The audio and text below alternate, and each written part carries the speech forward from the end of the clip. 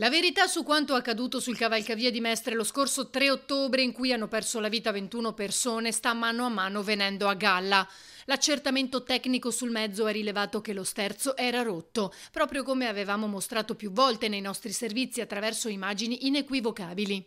Si sta delineando lentamente eh, delle verità credo importanti. Uno, che l'autista non, non stava male, e che qualche problema questo mezzo ce l'aveva. In realtà la perizia è ancora in corso. Fondamentale sarà capire in quale momento preciso si sia rotto lo sterzo, elemento determinante per l'inchiesta. I periti infatti dovrebbero essere in grado di ricostruire nei dettagli la cronologia del guasto grazie a un'analisi al microscopio dei frammenti della rottura.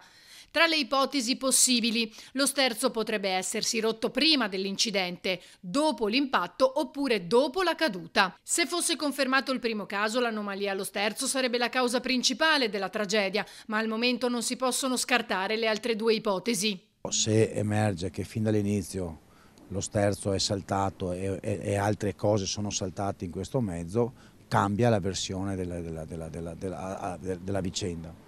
Infatti noi ci auguriamo che la Procura continui nel suo corretto lavoro di analisi, avendo affidato le valutazioni a dei super esperti e siamo ovviamente nell'ansia di attendere l'esito. Proprio ai nostri microfoni un ex dipendente della linea aveva dichiarato di anomalie presenti sullo sterzo dei mezzi. Presenta delle anomalie magari sullo sterzo, cioè, ovvero mm, nel girare non è come un mezzo a gasolio che quindi ha un'ampia sterzata si fa, si fa fatica.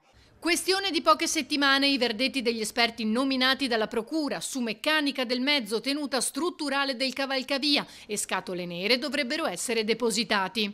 Intanto sulla possibilità di un malore dell'autista, il quarantenne Rizzotto, ci sono due visioni. Quella del medico legale Viel, che sostiene sia morto per il trauma cranico riportato nella caduta, e il secondo parere della cardiologa Basso, che si sofferma invece sulla patologia coronarica dell'uomo, che avrebbe potuto tradursi in malori cardiaci. Un contrasto di perizie che la difesa dell'azienda di trasporto vuole approfondire.